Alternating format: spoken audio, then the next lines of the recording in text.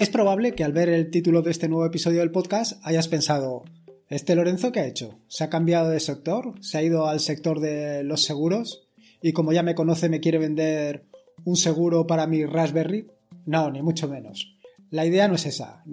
La idea es que hasta la fecha siempre he estado pensando que la Raspberry pues la ibas a tener, igual que la tengo yo, en un entorno seguro. La ibas a tener en tu casa y en tu red local, donde supuestamente no tiene acceso nadie nada más que tú y tu familia o los que tú consideres. Sin embargo, es posible que eh, no tengas la Raspberry exactamente en un sitio en un sitio seguro, que no la tengas en casa. Eh, o incluso te diría, es probable que la tengas en la oficina, que la tengas como servidor. O a lo mejor la tienes conectada a internet para hacerte de servidor de documentos o cualquier otro tipo de cosas. En este sentido, si la tienes eh, en un ambiente no protegido, en un ambiente descontrolado, que podemos decir, eh, es probable que alguien intente acceder a tu Raspberry. ¿Con qué objetivo? Ninguno. O sea, nada bueno. El objetivo probablemente sea el de hacer algún mal. El de intentar sacar. Eh, intentar sacar datos o vete a saber qué tipo de objetivo puede tener. Pero vamos, bueno, seguro que no. En este caso, pues, si tienes tu Raspberry en un entorno no controlado, en un entorno abierto, lo suyo es que la tengas protegida. Así que el nuevo episodio de hoy, este, en este episodio número 63, mi idea es contarte cómo puedes asegurar tu Raspberry. Asegurar tu Raspberry para que amigos del ajeno no puedan acceder a la misma.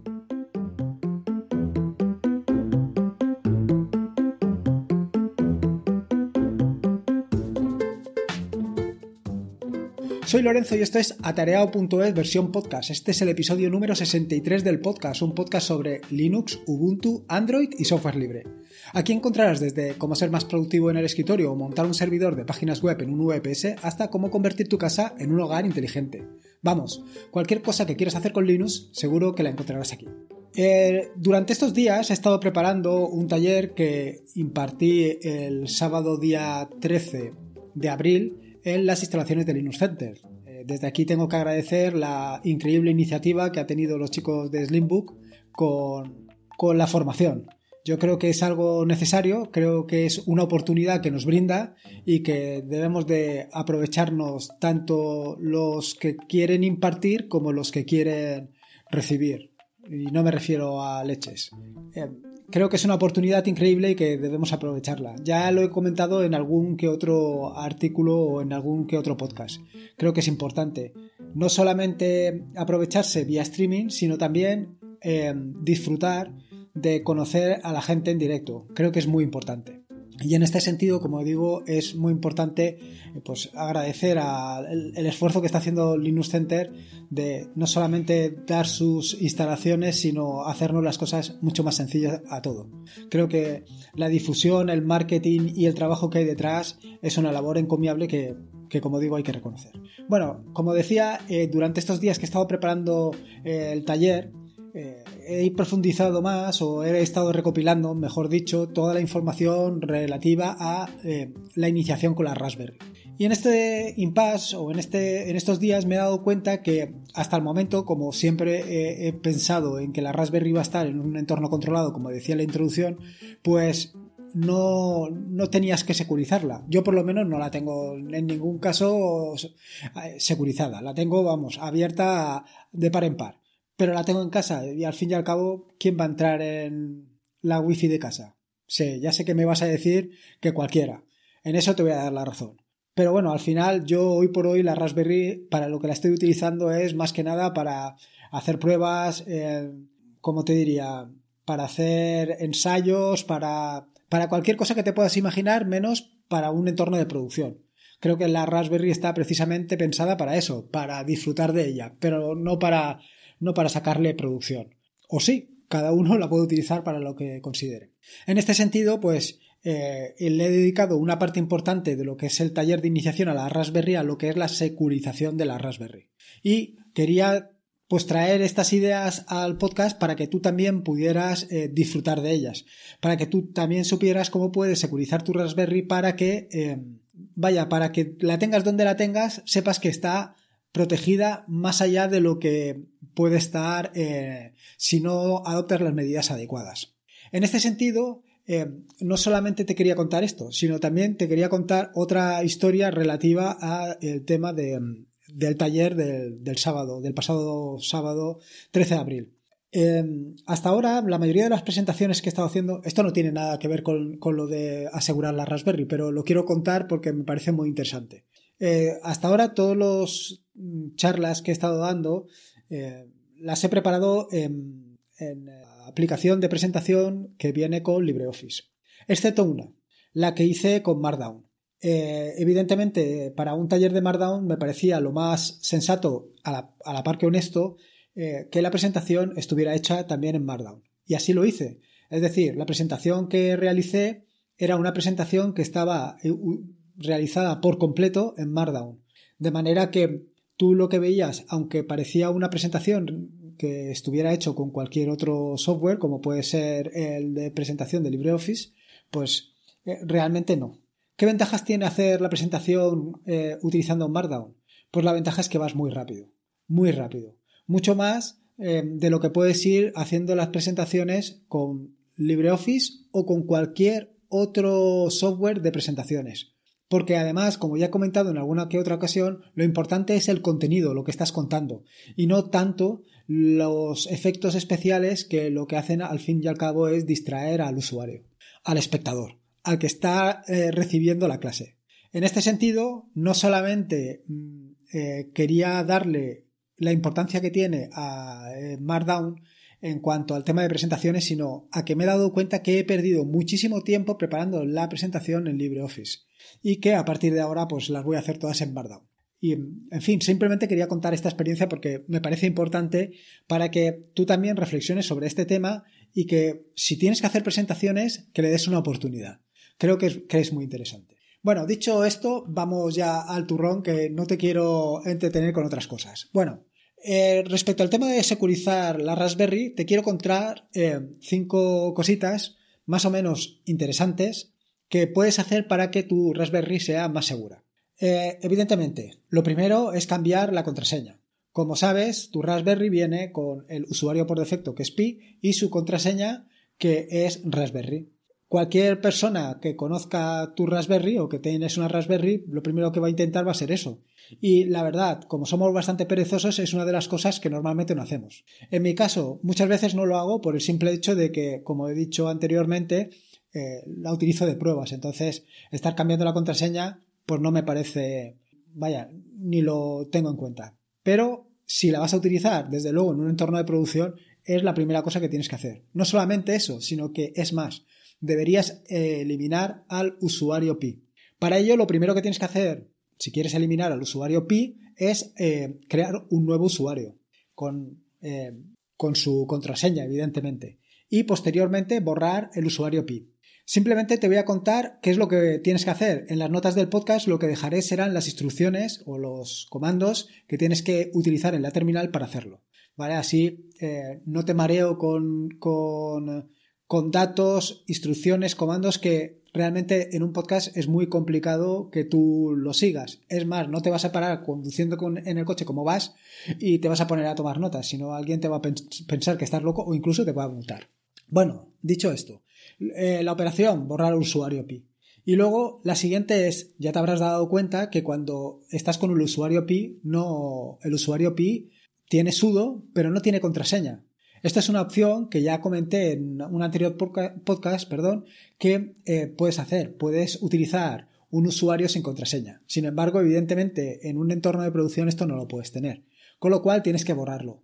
Aquí te tengo que comentar que eh, tiene una configuración especial para el usuario eh, Pi, con lo cual tendrás que borrar un archivo en concreto para evitar que eh, coja esa contraseña, o sea, para, para que básicamente tenga contraseña.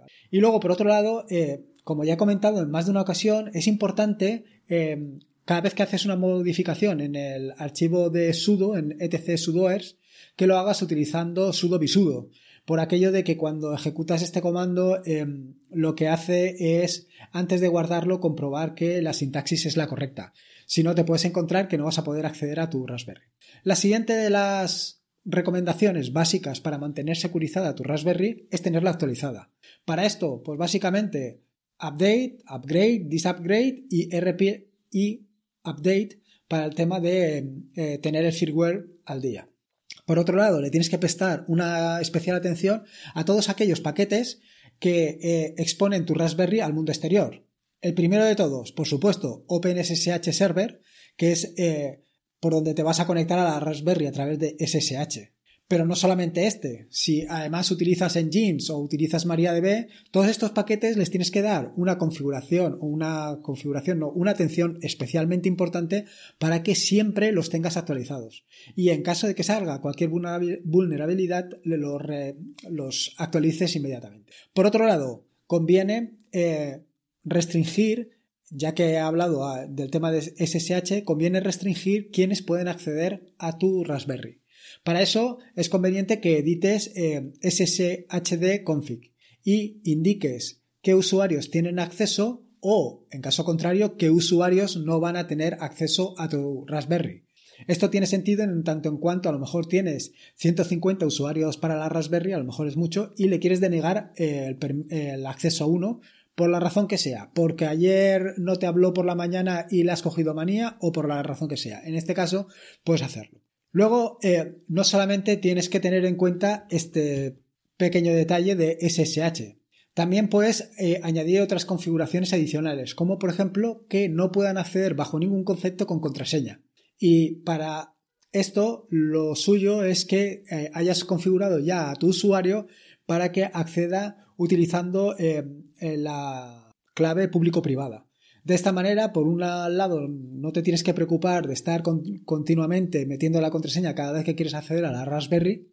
Y por otro lado, pues es mucho más seguro que, evidentemente, utilizar una contraseña que es susceptible de que cualquiera la, coja.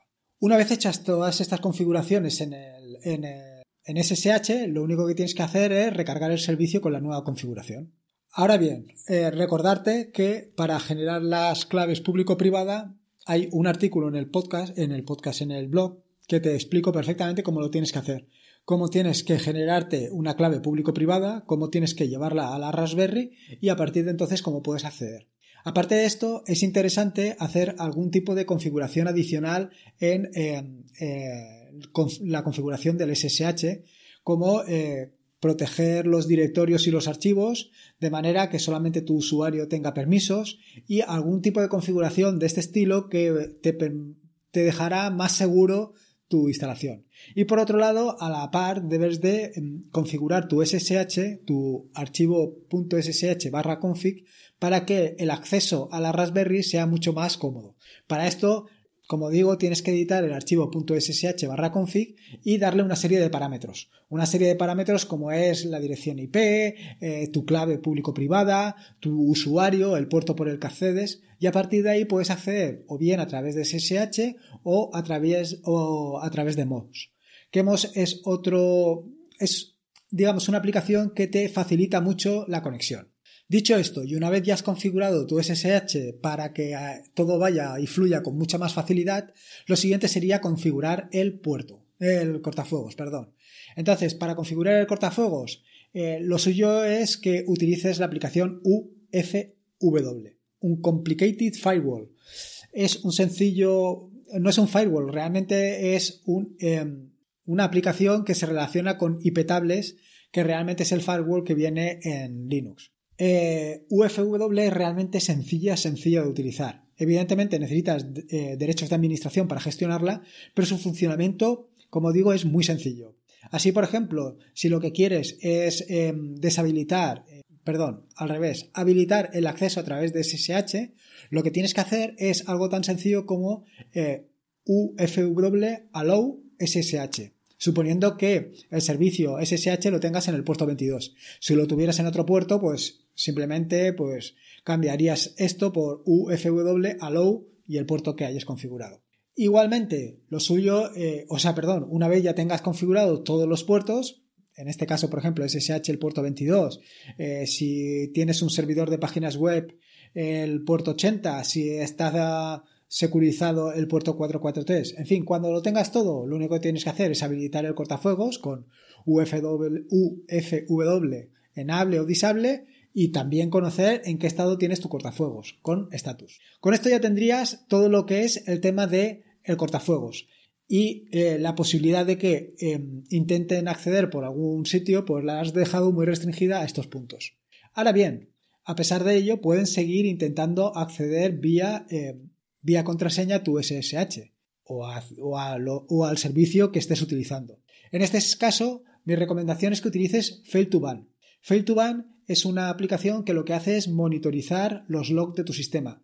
De manera que si alguien intenta de manera repetida acceder a, tu equipo a, través de un puerto, este va a quedar registrado en el log, en el log de la aplicación. Si Fail2Ban ve que se ha registrado este acceso indeseado porque hay un error de acceso o un acceso no autorizado, lo que va a hacer la aplicación es banearlo. Va a impedir que pueda volver a conectarse desde esa IP a ese puerto. Es fácil, eh, esta aplicación es muy sencilla, la configuración evidentemente la tienes que hacer por terminal y lo que te permite es eh, establecer el máximo número de intentos que tienes que hacer, así como establecer eh, cuánto tiempo se pueden realizar esos intentos y cuánto tiempo vas a banear a esa persona, es decir, cuánto tiempo va a estar sin poder acceder a la Raspberry. Y digo persona cuando probablemente lo que haya intentado acceder a tu equipo, a tu Raspberry, no sea una persona, sino que sea un, robot, que es lo más sencillo que ocurre en Internet. Pero bueno, tú ya me entiendes. Y por último, la tercera o la cuarta o la quinta, ya no sé, ya he perdido el orden, de las aplicaciones que te quería comentar es Logwatch. Logwatch, que tampoco viene instalada por defecto, pero que evidentemente se instala de una forma muy sencilla, lo que hace igualmente es monitorizar todos los accesos que se realizan a tu equipo. Esto lo hace igual que lo hace Fail2Ban monitorizando los logs. Sin embargo, Logwatch, eh, al contrario de Fail2Ban, tú lo puedes hacer o lo puedes ejecutar de manera manual forzándolo o utilizando un cron para decirle que se ejecute cada media hora, cada cinco minutos o el tiempo que tú estimes. De manera que si tú le has dicho que cada 30 minutos, por ejemplo, monitorice tus eh, tus logs y en tu log aparece un intento de acceso no deseado, lo que va a hacer, al contrario que lo que hacía fail to ban, que es banear, lo que va a hacer es avisarte. Te va a avisar de que alguien ha intentado o está intentando acceder a tu equipo. ¿Y cómo lo avisa? Bueno, aquí es donde eh, interviene eh, la apuesta esta con Ángel de Yubi, que yo le había dicho que no. Bueno, realmente le había dicho que había una tregua, pero he querido echar aquí la puntillita. Y es utilizando un robot de Telegram. Es un robot muy sencillo que lo que hace evidentemente es eh, comprobar que hay un... O sea, si, perdón, si se produce un, un acceso no deseado, lo que te va a mandar es un mensaje de Telegram. Evidentemente, el Logwatch está más pensado para el tema de email, pero yo creo que no tiene ningún sentido hoy en día utilizar el email para precisamente esto, para que te haga un aviso de un intento de acceso no, autorizado. Yo creo que Telegram o cualquier otro sistema de mensajería, como puede ser Slack, es el método más adecuado para, para hacer este tipo de avisos. Así que nada, como ves te he contado, eh, aparte de las recomendaciones básicas que debes de tener en cuenta para tener tu Raspberry segura el tema de las actualizaciones, también te he hablado sobre el tema de cómo puedes securizar tu SSH y tres herramientas básicas que tienes que tener en funcionamiento para que tu Raspberry esté lo más protegida posible. Eh, es decir, el uso de un cortafuegos, el uso de Fail2Ban para, para banear que alguien intente acceder y el uso de Logwatch para que te avise en el caso de que alguien esté intentando acceder. Muy sencillo, muy sencillo todo, muy práctico y yo creo que si vas a tener tu Raspberry en un entorno de producción o en la oficina donde, donde quieras, pues es una manera de tenerla más protegida que si la vas a tener en casa. Y esto es más o menos todo lo que te quería contar en el podcast de hoy. Así que, como digo yo, en las notas del podcast que encontrarás en atareado.es están todos los enlaces que he mencionado a lo largo del mismo. Te recuerdo que puedes encontrarme en atareado.es, me puedes mandar allí un correo desde la apartado de contactar. Eh, también te puedes poner en contacto conmigo a través de Telegram y de otros medios, pero sobre todo me interesa que me des tu opinión. Me des tu opinión sobre todo en la página web y si puede ser en alguna de las aplicaciones, ya sea iBox o iTunes, para dar más difusión al podcast y que llegue a más gente. Igualmente, si tienes una idea para una aplicación, un script, alguna sugerencia o cualquier cosa, no dudes en dejármela en atareado.es. Por último, recordarte que este es un podcast asociado a la red de, de podcast de sospechosos habituales y que te puedes suscribir en el feed feedpress.me barra. Así que, como te digo, todos los capítulos del podcast. Recuerda que la vida son dos días y uno ya ha pasado, así que disfruta como si no hubiera mañana y si puede ser con Linux, mejor que mejor. Me quedo aquí un rato escribiendo alguna cosita más sobre Telegram, Raspberry y estas cosillas que a mí me gustan. Venga, un saludo y nos escuchamos el próximo jueves.